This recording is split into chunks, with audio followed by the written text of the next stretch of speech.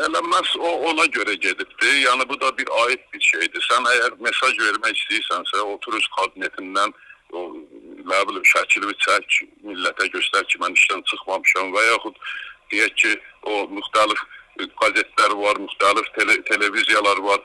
Onları dəvət elə öz kabinetinə onu göstər ki, mən işdən çıxmamışam. Şəhidlər xiyabanında öz bir kollektivinlə gedib bunu göstərmək məncə ayıb bir şeydir. Yəni bu yasa özünün reklamını qatmaq bizim mentalitetə ziddir. Ümumiyyətlə insan mentalitetinə ziddir, insan əxlaqına ziddir, insan o düşüncəsinə ziddir.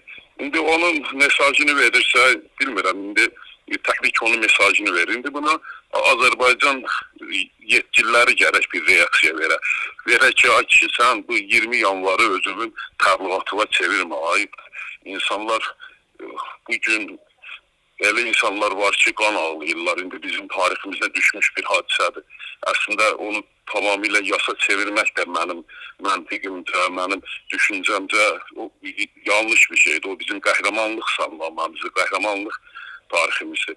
Amma istəyir qəhrəmanlıq tarixi olsun, istəyir yas mərasimi olsun.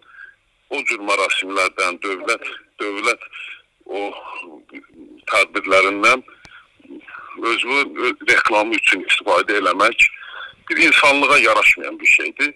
Və Basit Talıbov nəslindən ki, mən ona onlar o nəslin adını Bərməkçilər nəsli qoymuşam. O Bərməkçi əhvalatını da sizə danışmışam bir dəfə. Bəli. O Bərməkçilər nəslindən ancaq o boyda vətənpərvərlik, o boyda insanlıq, o boyda nə bilim əxlaq gözləmək olardı, o da göstərir. İndi yenə deyirəm, buna qərar verəcək tərəf Azərbaycan hakimiyyətidir. Bütün vəzifələr gəldi gedərdi. İnsan vəzifədə də olar olmaz, amma insan gərək insanlığını itirməyə. İnsan, nə bilim, ilk öncə insan olmalıdır. Hansı vəzifəni tutmağı heç bir əhəmiyyət, əhəmiyyət kəsb eləmir.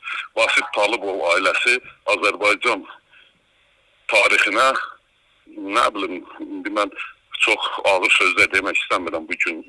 Bu gün amma fakt budur ki, Azərbaycan tarixinə lənətlənmiş tayfa kimi düşəcək. Heydər bəy, amma görünən e, odur